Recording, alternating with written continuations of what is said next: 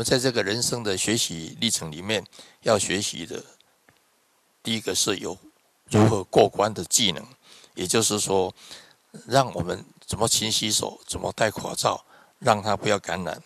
那第一个是怎么样有过关的态度，也就是套一句比尔盖茨讲的话：这次病毒教给我们的是如何谦卑，这才是最重要的。怎么样去慈悲心来助人啊？那第三个是如果有过关的智慧，也就是说，我们要怎么去期待啊？期待能够对我们。做一个随时的调整，因为每个人的期待不一样。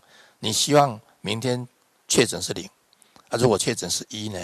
哦，所以也不要去恐慌，不要去生气。